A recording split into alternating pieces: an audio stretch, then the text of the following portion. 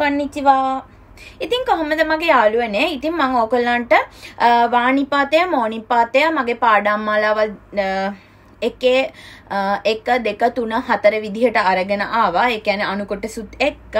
ඉතින් මං අද ඕගලන්ට කියල දෙන්න ලෑස්ති වෙන්නේ තව කෙටි නිපාතයක් ගැන. එතමයි නෝ නිපාතය ගැන. ඉතින් ඔකොල්ලොන් නෝ නිපාතයක් අනිවාරයම ඉගෙන ගන්න ඕනේ වාක්‍ය නිර්මාණයේදී. ඒවගේම ජපන් භාෂාව ඉගෙන ගන්නකොට. ඉතින් ඉතාම කෙටි පාඩමක් නිසා මම එකත් අරගෙනෙන් ඕනි කියල හිතුවා. ඉතින් අපි බලමු මොකක්ද මේ නෝ කියල කියන්නේ කියලා. නෝනිපාතය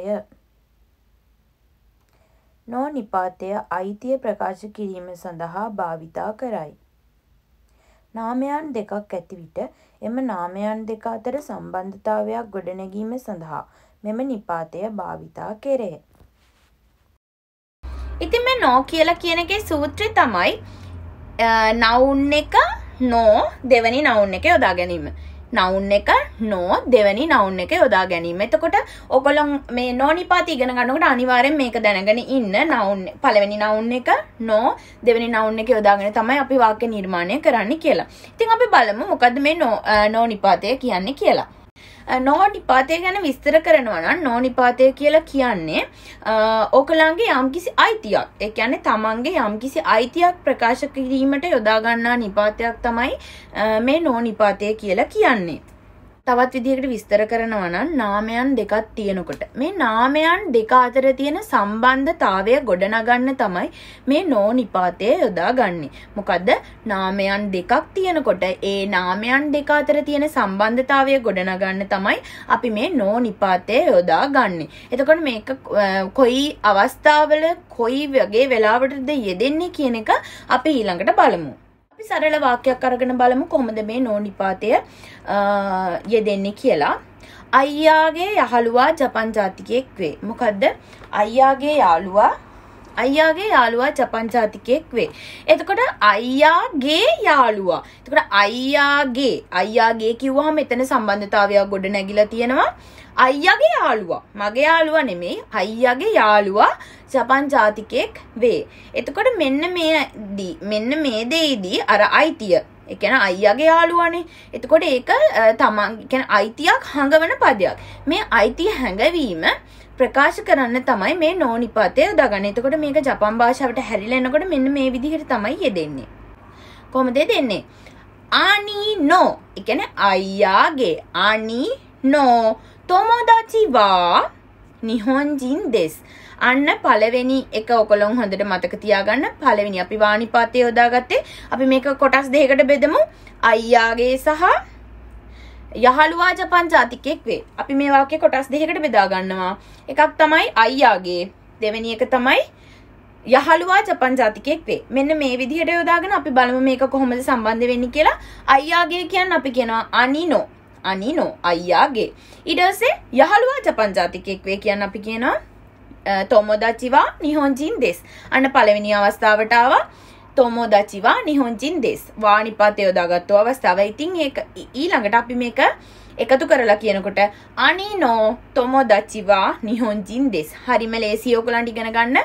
අයිතිය හැඟෙව්වා ඊළඟ වාක්‍යත් එක්ක සම්බන්ධ උදා. ඉතින් ඕකලන්ට මේ මේ විදිහට වාක්‍ය නිර්මාණයේදී හොඳට තේරෙනවා ඇති කොහොමද මේ නෝනිපාතය යොදාගන්නේ කියලා. ඉතින් අපි වාක්‍ය කිහිපයක් අරගෙන බලමු කොහොමද මේ නෝනිපාතය තව දුරටත් යෙදෙන්නේ කියලා.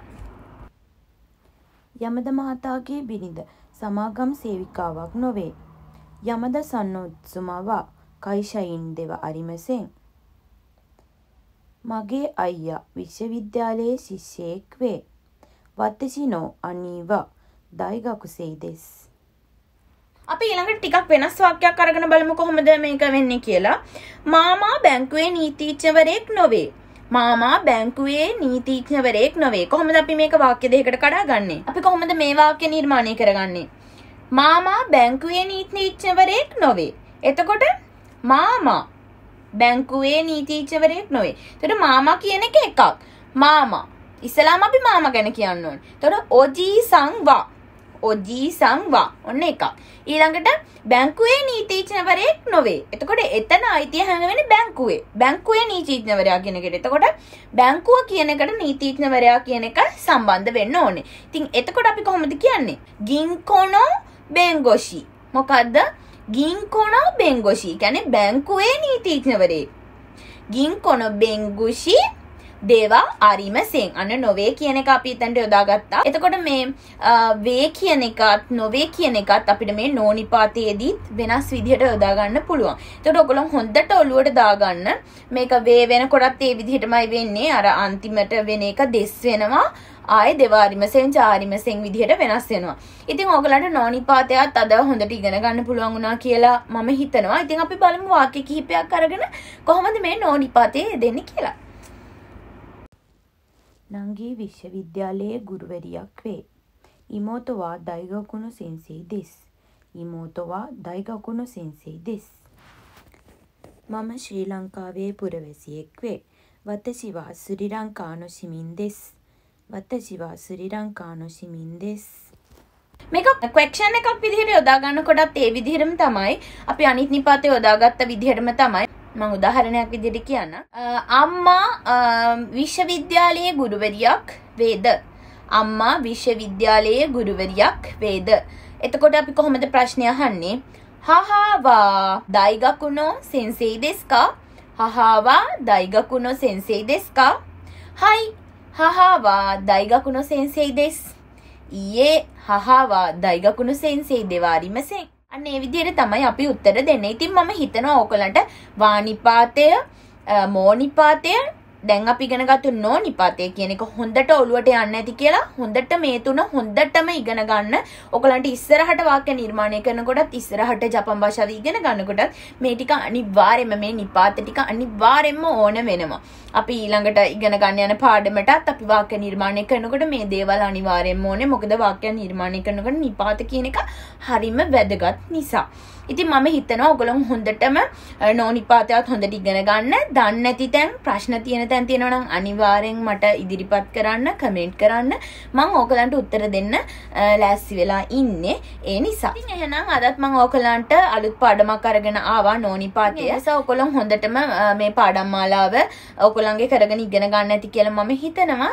ඉතින් එහෙනම් අලුත් පාඩමක් අරගෙන එන්න බලාපොරොත්තු වෙමි. මම අද ගිහිල්ලා එන්න. මගෙත් එක්ක එකතු වුණාට ඔයගොල්ලන් හැමෝටම thank you. ඉතින් ඉදිරියටත් මගෙත් එක්ක එකතු වෙලා ඉන්න කියලා මම ආරාධනා කරනවා. ඉතින් ඒ වගේම අමතක කරන්න එපා සකුරා වැස මගේ YouTube channel එක subscribe කරලා ඊට හැපෙතෙන් තියෙන පුංචි bell icon එක click කරන්නත්. එහෙනම් ගිහින් එන්න සයනරා.